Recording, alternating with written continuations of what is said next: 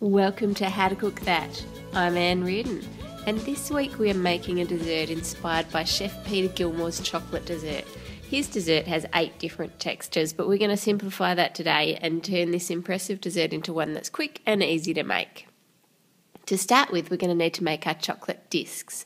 So take some tempered chocolate and spread it thinly onto a sheet of foil.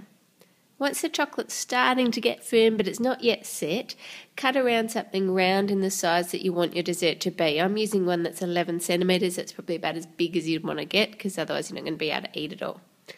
As chocolate sets, it can tend to warp and go out of shape a bit, so to stop that happening, place another sheet of aluminium foil over the top and cover it with a heavy book.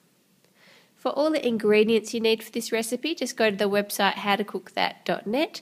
There's a link in the description below this video. Melt your butter or your margarine, you can do that in the microwave or the stovetop, then stir in your sugar.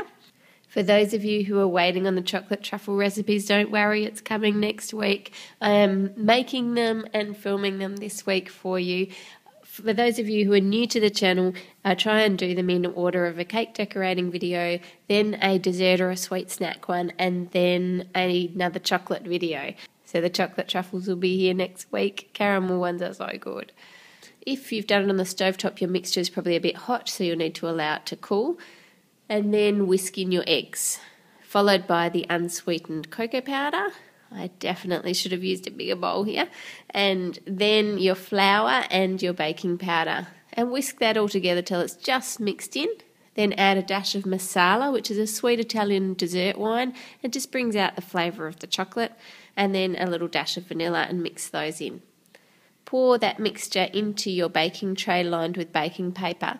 Now, the one I'm using is 26 centimetres by 38 centimetres, and it's probably just not quite tall enough on the sides, mine. So, to stop it spilling over into the oven and making a huge mess, I have made my baking paper go up higher on the sides and stapled it into place so that it's not going to overflow.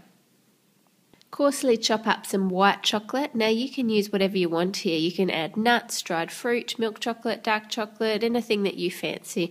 Just chop that up and sprinkle it over the top. And if you want a more perfectly looking round desserts, then you don't need to add anything at all. You can leave it plain, which will make it easier to cut exact circles out of it.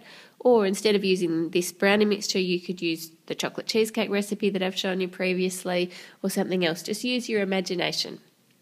Bake that brownie in the oven until a knife inserted into the centre comes out clean and you can smell that brownie smell wafting through your house, then you know it's done. Allow it to cool completely and then using the same circle object that you used the first time, cut circles from your brownie and then you can eat the scrap pieces on the edge. Mmm, so good. Using a smaller cutter, cut out a circle from the centre of each of those.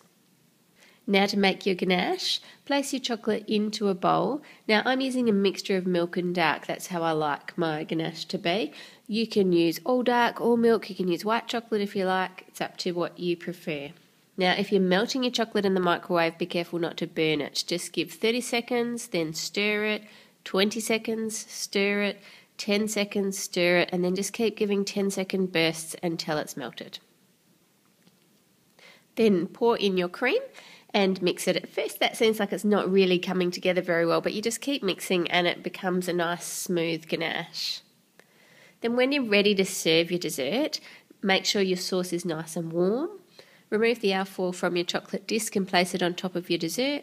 Add a scoop of ice cream, then serve it to the table. And at the table, put a spoonful of your hot ganache on top, and it will melt through the centre of the dessert. Now, I like to have a real sort of chocolate lava flow to the dessert when people cut into it. If you want that as well, then put some extra ganache into the centre of your dessert before you put your chocolate disc on. And then when you add your ganache on top, it'll have that same dropping effect. But then also when they cut into it with their spoon, that chocolate ganache is just going to ooze out of the dessert, making it just unbelievably yummy. Enjoy, and I'll see you next week with the chocolate truffles recipe. Have a good week. Bye.